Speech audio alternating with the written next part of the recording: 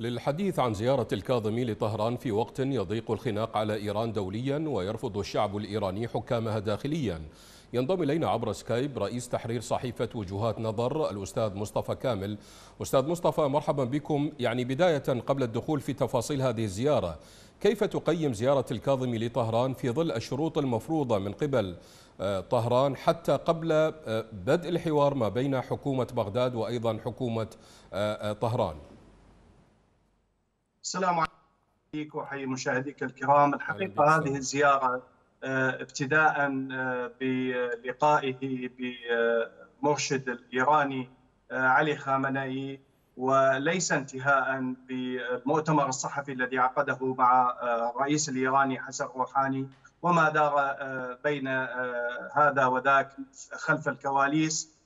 كلها تؤكد أن هذه الزيارة القصد منها إنقاذ رقبة إيران من العقوبات الأمريكية المفروضة عليها والدولية وبالتالي فتح الأسواق العراقية أمامها وربما جعل العراق ممرا لها لتصدير منتجاتها وتصدير نفطها إلى العالم. وبالتالي فهذه الزيارة ليست في صالح العراق وإنما في صالح إيران.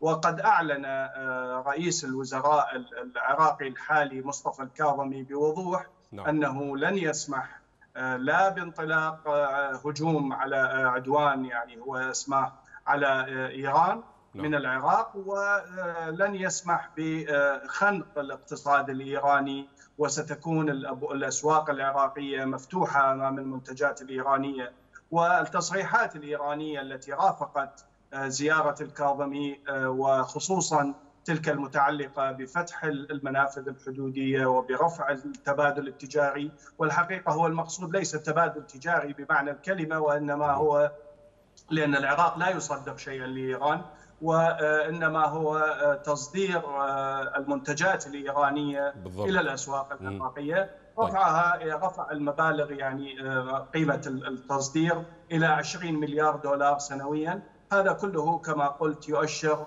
محاولة لإنقاذ الاقتصاد الإيراني من العقوبات الأمريكية والأوروبية المفروضة عليه. أستاذ مصطفى سنتحدث عن قبول اتفاقية التبادل التجاري بين الطرفين ولكن دعني أعرج هنا إلى ما صرح به نائب الرئيس الإيراني حسن روحاني حيث صرح على هامش زيارة الكاظمي أن بلاده تتوقع متابعة جدية من قبل حكومه الحكومة في بغداد لقضية مقتل قاسم سليماني في بغداد.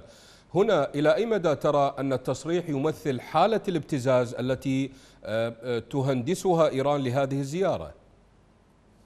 يعني من الواضح حتى في زيارة ظريف وزير خارجية إيران إلى بغداد قبل يوم واحد من زيارة الكاظمي إلى طهران نعم. ولقائه برئيس مجلس القضاء الأعلى فائق زيدان أنها محاولة لابتزاز العراق ومحاولة واضحة جدا للتدخل في شؤونه وأيضا يعني كما يقال محاولة فرض أمر واقع على السلطة في العراق لأن هذه القضايا يعني المسائل القضائية في أي بلد هي مسائل داخلية ولا يجوز لدول أخرى يعني التحكم بها أو التأثير عليها.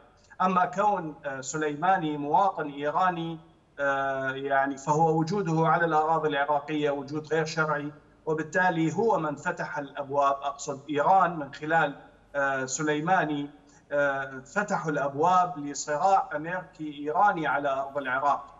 لو كان سليماني مواطنا ايرانيا دخل إلى العراق محترما سيادة العراق واستقلاله وأمنه ولم يتدخل في شؤونه الداخلية ولم يفرض على كل المسؤولين ابتداء من مؤسسة الرئاسة ورئاسة الوزراء والبرلمان وكل التفاصيل اللاحقة والعناوين المدرجة تحت هذه التسميات.